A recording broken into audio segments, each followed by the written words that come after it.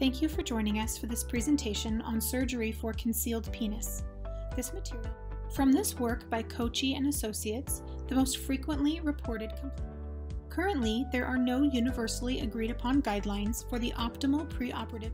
Depending on the clinical situation, different surgical techniques can be performed to address the after penile degloving and release, if additional penile shaft length is several published series have reported surgical and functional outcomes of men with buried penis.